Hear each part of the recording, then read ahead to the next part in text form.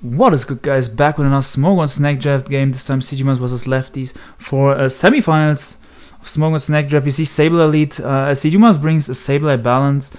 Most likely, Magearna is going to be a Solvis on both sides. Uh, so is either going to protect with a Sableye or go hard to his own Magearna. The reason why you would go hard to your Magearna is if you fear the Magearna being Calm Mind on the other side. And his Magearna is like the best answer for that, and you don't want to risk a protect on the Calm Mind. So I assume he's just gonna go to Magearna here. As Leftiez is gonna go for Fleur, uh, Volt Switch, I would say. I would go for Volt Switch. He goes for Iron Head. I guess that's like the best move he had to hit the incoming Magearna. Because he knew that the um, Sableye wasn't gonna stay in turn 1. Or he just protected the, predicted the Protect maybe. So now we're gonna see either them, Magearna versus Magearna, exchanging Iron Heads or Volt Switches. Uh, let's talk about the about the rest of the team. Either the Koko or the Greninja has to be Scarf on CDMA's team for some speed control. Then there's going to be Rocks, the Mew should be Defog, Soft-Boiled, Ice Beam. And I guess Will-O-Wisp in the last slot. So he goes for Iron Head. He does get a flinch. I don't know if this is his speed tie or if, his, or if is just faster. But I expect um, Leftiez to get the slow Volt Switch. As Cdumas does Volt Switch himself. Probably into Mew here. Because you don't want to risk your Landorus on a potential Fulaken or Ice Beam. So he's just going to Mew. And Clefable is really obvious here because Mew would like... Mew can usually not touch Clefable. So if Cdumas can maybe double into something, if unless he has a move to hit the Clefable with the Mew, then he has to double into like Koko, uh, Koko Orlando or Magearna. Yeah, Koko Orlando would be, make the most sense to me to double out into if you Cdumas here. Orlando to get up your rocks or Koko to um, then Volt Switch on the Clefable because the Clefable probably wouldn't want to stay in. Or potentially T-Bolt. I mean, we don't know the Koko set yet. But I'm guessing um, the Koko should be Z-move and the Greninja should be Scarf on CDMA side, as he does have T-Wave Mew. Okay, I did not see that one coming. I thought he would have Wisp, which is why I thought that he should have doubled. But if he had T-Wave, that was a completely fine play, predicting the Clef.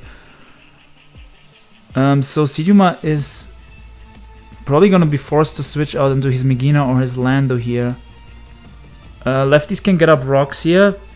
I don't know if he has rocks on Clef or on Lando.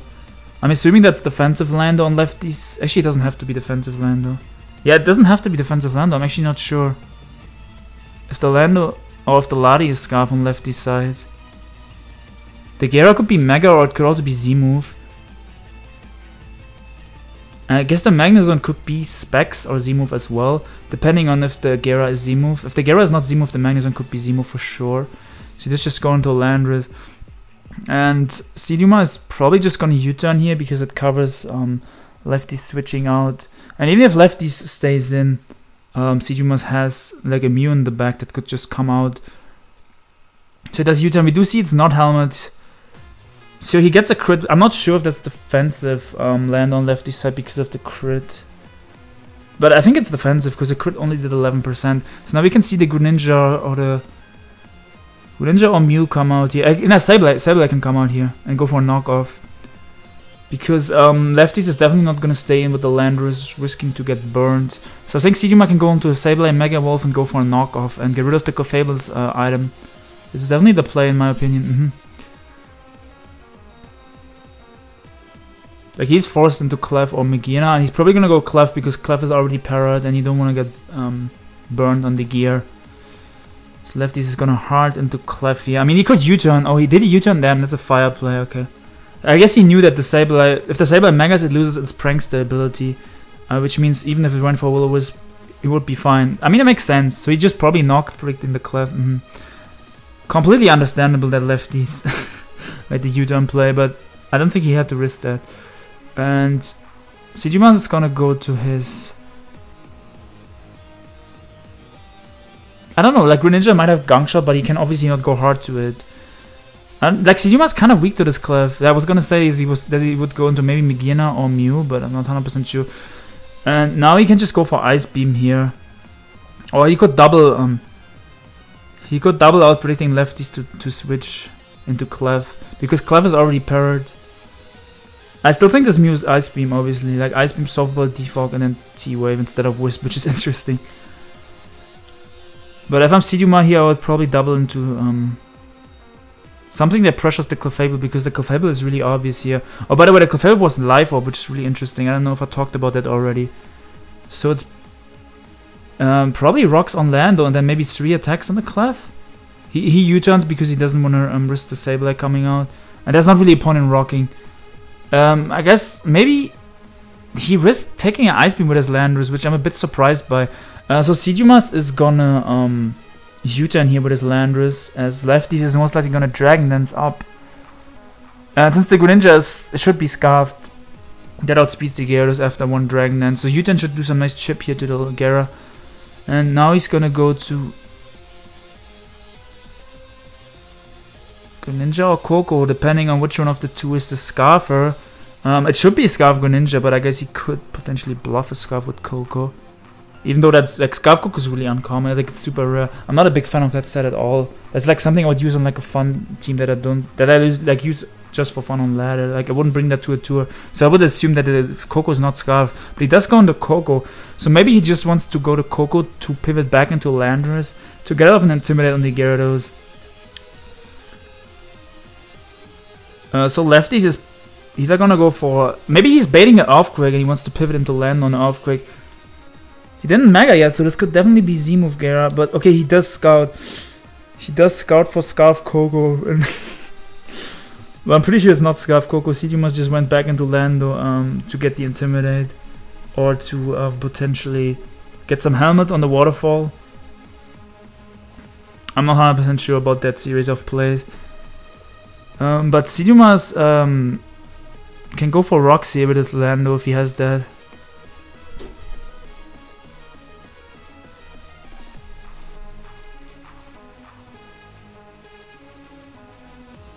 Leftiez can go to Gyarados here. Or Clefable, both are options. I don't think you risk going Lati on a potential U-turn. I think Gyarados or Clefable is the play. And you obviously don't want to go to Magnus on a Magearna. it's either Gyara or Clef. But rocks are super free, so I would really be surprised if you didn't just go for rocks. So now the Lati is in, and he can either go to Magearna or Mew, but if he fears a trick, he could also go to Sableye. Uh, but he's definitely not gonna stay in with the Lando, I don't think. Unless he bricks the defog. I guess he could stay in to brick the defog and go for U-turn. But Health on Land was nice. And chipping down Gyarados. He did break the defog and he just went for U-turn, I think, yeah. Nice play.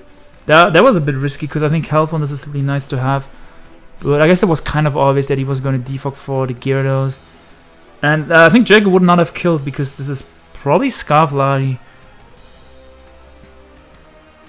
So it's locked into Defog now, which gives Sejima a lot of options. He can go to Greninja here and click U-turn. He can go to Koko here and click like Volt Switch or U-turn, or like maybe Calm Mind if he has that. He has like so many options here. He can go to Magearna. Uh, I think Greninja and U-turn is like overall the best play, or like th that's like the freest play. You don't have to think about really like much because you just get momentum with Greninja. As he does go Greninja, and I'm pretty sure he's just gonna click U-turn. This should be U-turn, Rock Slide, Ice Beam, and Spikes. Maybe Ice Beam and Gunk Shot. He just U-turn on the gear, and now he can go to his um, to his Lando or to his uh, Mew. Oh, he goes Lando, and I guess he can just U-turn again. And even if Leftiez predicts that he can then go to his Mew or his Megina afterwards, which should be completely fine for Siduma. I don't think he loses much. Uh, let's see if Leftiez predicted that I went for Volt Switch. It would be a hard play. He just went for Ice Beam. And I don't think he was Shocker. I don't know why he Ice Beamed. I think he would have died to Earthquake. But yeah, the T-Wave is gonna come out here from the Mew, so I don't know if Leftiez wants to take that. I think Leftiez could hard into Magnezone here, because he doesn't want to get T-Waved on the Magearna. That's what I would do at least. I wouldn't want to get T-Waved. I would hard into Clef or into Magnezone here for sure. Because it's pretty obvious at this point that the Mew cannot touch both of these. Like, generally Mew cannot touch Zone unless it has Wisp. But this one only has T-Wave, so it can touch Zone.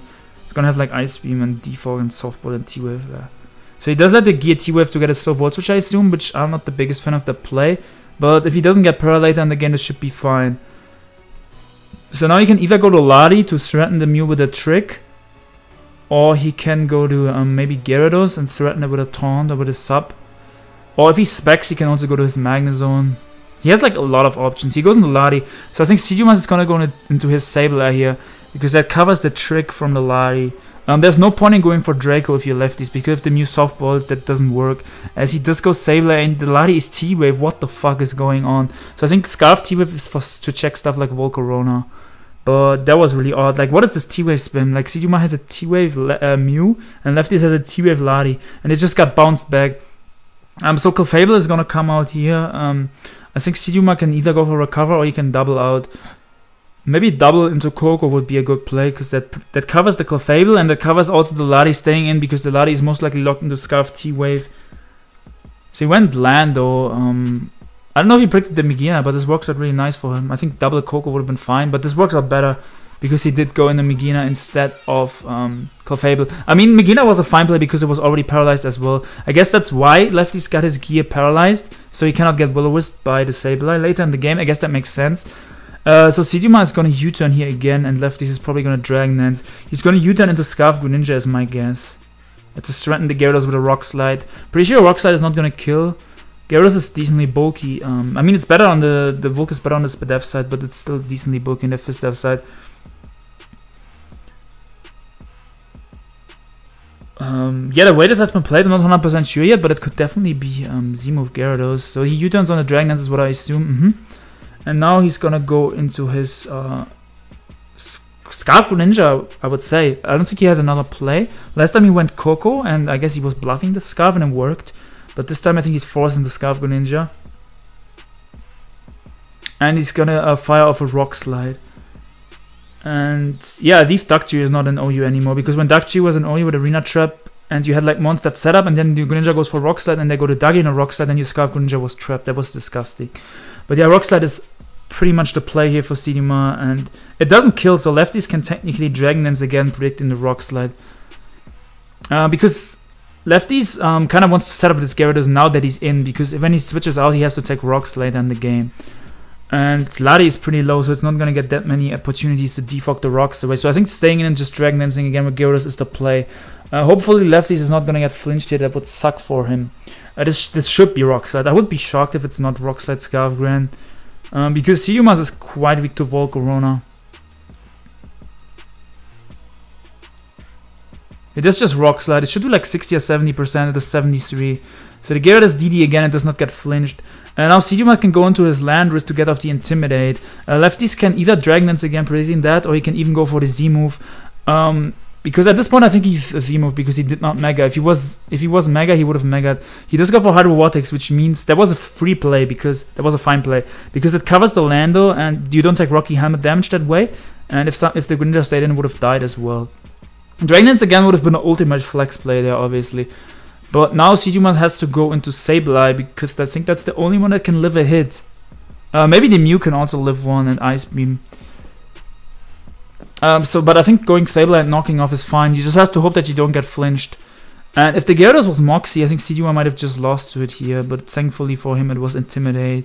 Um, yeah, like Gyarados is I think Intimidate is fine because you can get better you get better setup opportunities, but in this specific scenario, Moxie would have been really nice to have. So Sableye is just gonna knock off here. Um, hopefully it's not gonna get flinched because otherwise I think Cdumas is in a really bad position. He doesn't get flinched, he can just pick it off with a knockoff. And I think, yeah, it's pretty much confirmed Lefty doesn't have a Mega on his team, which is weird. And now he can go into his um, Magnezone or his Landorus here to threaten out the Sableye. And the Sableye doesn't really heal on much. I guess it can potentially heal on the Para, on the... It can maybe heal on the Lati locked into Psyshock or locked into something that's not Draco. Or it can also heal on the on the Para from the fairies. but he does just go Lando. And Earthquake is pretty free since Siduma's Lando is dead. Uh, he does not have a Balloon Mon, I'm pretty sure. So Leftiez can just click Earthquake here. I think Siduma is just... Uh, he can go hard to Mew or he can sack his Sableye. I guess this is nice to keep as fodder. So I think uh, going hard Mew is the play here. If I recall correctly, the Mew is pretty healthy, so should be able to switch into the Lando. As yeah, exactly. He just just do that and he keeps it as fodder. And now Siduma is either gonna go for Soft-Boiled or Ice Beam. As Leftiez stayed in and because he's oh he's Yache. I think that's also why he stayed in earlier on the Mew. But he predicted Siduma to go for Soft-Boiled. That's why he stayed in with Lando because he wanted to get a slow U-turn. But Asuma just went hard for Ice Beam. Not a Clef or the Zone is gonna come out. And it's just gonna spam T-Bolt or Discharge here. We know the Gyarados was Z-move, so this is not Z-move. This is either Specs or... I don't know... I don't think he's double Assault Vest. This could be Scarf or Specs. Because Scarf Zone is like pretty cool to check stuff like Kartana, and Lefty's team seems quite weak to that otherwise. Or like Kartana in general, it doesn't have to be Scarf. SD Kartana seems like really threatening to him. So he does just sack off his Sableye here.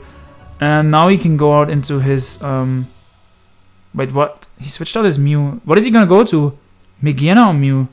Like Greninja doesn't really have a move to kill this. Pretty sure. And Koko also doesn't have a move, so he goes back to Mew. I guess he would just wanted to scout for the Magnezone set. Now he's gonna Soft-Boiled as the zone is faster, so it is Scarf Zone, I think, yeah. So it's Scarf Zone and Scarf Gear, and not Scarf Gear, Scarf Zone and Scarf Lati, double Scarf. So he's fishing for the para, he's eventually gonna get it as he gets it here. As the thing is, I think Thiduma's, um, this doesn't matter too much. Um, I think he's just gonna eventually start spamming Ice Beam to weaken the Magnezone. And if he weakens the Magnezone, I think Thiduma's pretty much wins with with just his Tapu Koko. Because the Clefable is paralyzed and it doesn't beat Koko. It, it was life up, it was knocked off, it does not have his life up anymore, it also doesn't have lefties. Magearna is paralyzed and already chipped a bit. So Koko's gonna beat that as well, and the Lati is super low anyways. So he's just gonna Soft-Boiled again here. Oh, Ice Beam, okay. Yeah, he just wants some to get some damage on the zone, and then he should win with his Koko, As he, he's just gonna Soft-Boiled here, right? And I think, CD, yeah, Cdumas pretty much wins this with his Koko in the back unless I'm missing something here. Um, I don't think the Koko revealed anything yet, but no matter what the Koko set is, it should be Z-move. Because not, nothing else showed Z-move yet. Magearna's AV, Muse, Lefties, Mega Sap, Rocky Helmet, Lando, and Scarf Granite. It should definitely be Z-move Koko. So it could be either um, the T-Bolt or the Dazzling Gleam or the Wild Charge. And I think pretty much all those sets put in work. As he keeps getting off some Ice Beams. That crit was pretty nice for Siduma as well.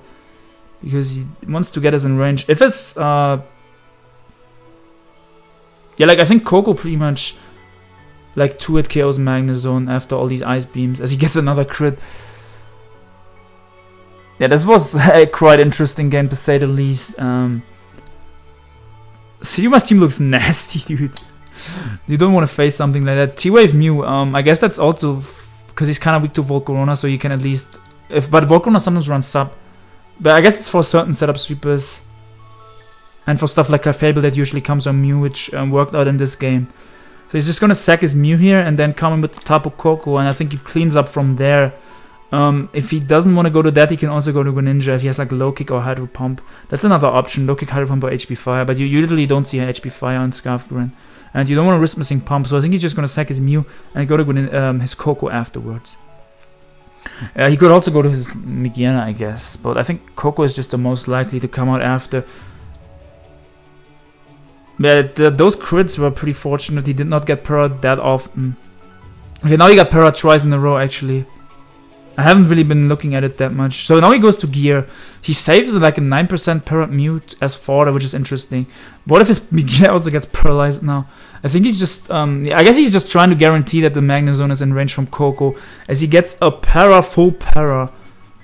So this is a really well-trained Magnezone, gets another para. And he gets a para again, so this zone hangs down the Magearna completely. And now he's finally gonna go to Koko? Yeah. And I don't know why he didn't sack his Mew. Because I think the Magearna was a bit more valuable than the Mew and he let that get parried instead of sacking the Mew. But it doesn't matter. Koko should just win.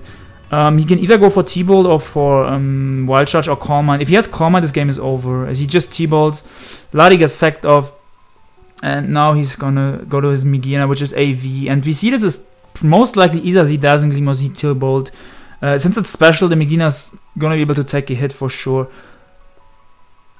If he has Calm Mind, he should definitely go for it. I don't know why he didn't go for it last turn. Uh, unless he unless he doesn't have it, obviously. But if he has it, he should have clicked it, I think. Because that ensures that he can take the hits better from Magearna and Zone and also boosts its special attack. So I think he's just gonna click the Z move here if it's Gigavolt Havoc. If it's Z Dazzling Gleam, he's obviously not gonna click it. But if it's Gigavolt Havoc, he's just gonna click that. As Lefty's just talking to the to Sakri, I think, or something. He just goes for ZT bolt that doesn't kill because AV Magearna is really bulky. The para sucks a bit, but I don't think the Koko would have been gotten O-code. Uh, because AV Magearna doesn't run max special attack. They run a lot of Spadef to check Ash Greninja better. So now you can just T-Bolt, uh, pick up the Magearna, and finish up the game with this Koko. yeah, I don't really know what to say about this game, dude. Like some of Some of this game was super weird. But I hope you guys all enjoyed and I'll be back with more games as the zone just hard dies to a crit. And even if that didn't crit, the zone couldn't have killed the Koko.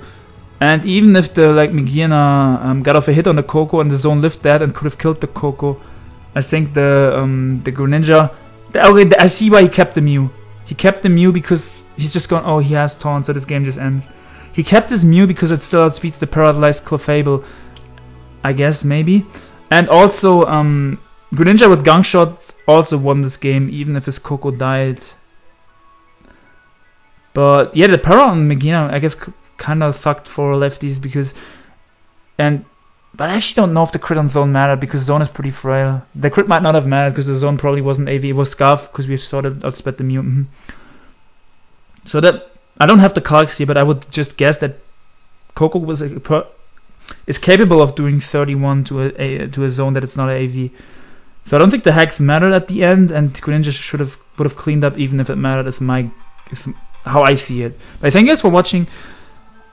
This was a semifinals game. I'll be back with more games. My man Ultra is going to bring you guys another finals game, the Ubers game. Stay tuned for that, and peace out, friends. Also, my man Ultra is going to bring you guys the Grand Slam finals whenever he has time. He's just busy at the moment. Stay tuned for that, and goodbye.